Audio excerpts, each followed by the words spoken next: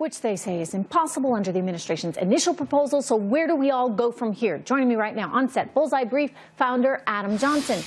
Bahnsen Group founder David Bahnsen and our very own Lori Rothman, who's live at the New York Stock Exchange. And I, I could tell you, I, am annoyed. I'm frustrated at this party right now because I think that they had every opportunity to get repeal and yes. replace done. They squandered that opportunity. They screwed it up. And my concern right now is they could do the same darn thing with tax reform. I tell you why they're not going to do that. They're actually going to get this one right because if they don't, they don't get reelected. This is political survival, and the knife's edge is as sharp as it can possibly get.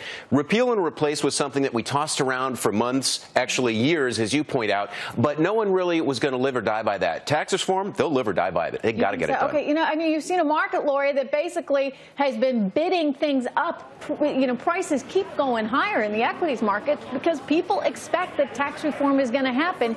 And as you know, that's going to be very beneficial to how earnings look, how it said everything is, right, oh, in the economy. I, I, say this is Econ 101.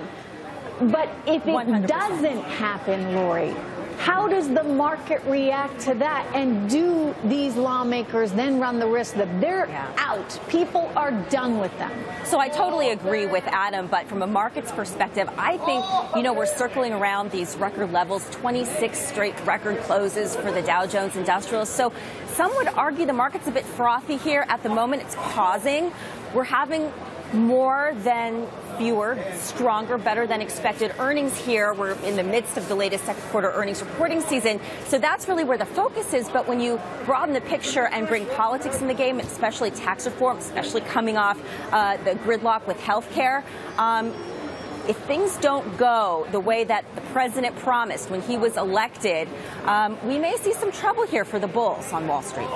You know, let, let's talk about these rates. 35%. Guess what? Pretty much everyone else in the world does a better job when it comes to corporate taxes than us. We have the highest taxes when you factor in state taxes, municipal taxes, the highest in the world. You look at Canada, what is it, 21% in Canada? You look at the UK, they do a better job on this. Ireland does a better job on this.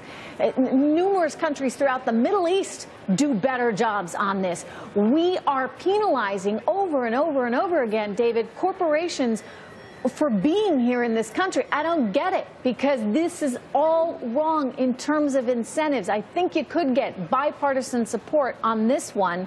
Will they?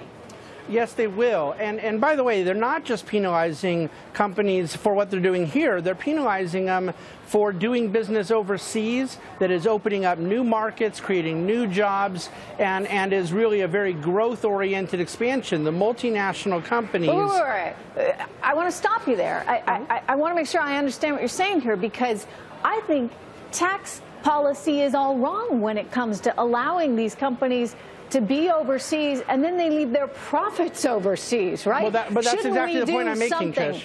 That's exactly to, the point I'm making. Because why do you want to create jobs overseas? Bring that money back home. Create those yeah. jobs here. Trish, it is absolutely untrue that those things are mutually exclusive. We do create jobs here when we create new markets overseas. We want customers overseas.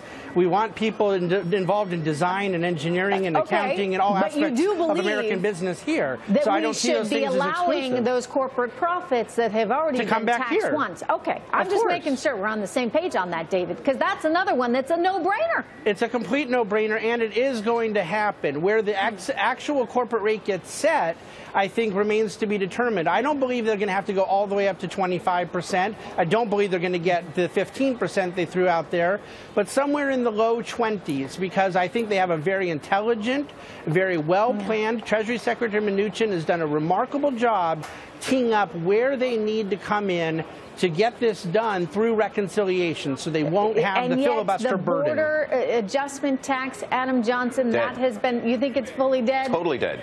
And, yeah, it's an, and, it's an and unfair if you don't tax. have a way to pay for the tax cuts in the yeah. here and now, is that going to be a holdup?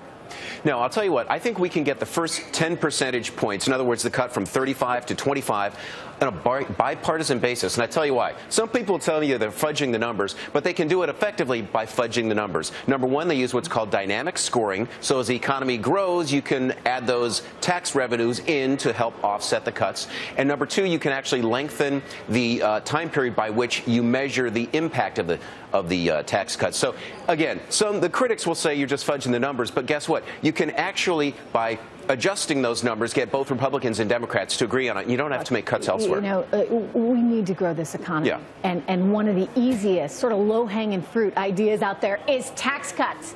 That will go a long way. Adam, David, Lori, thank you so much.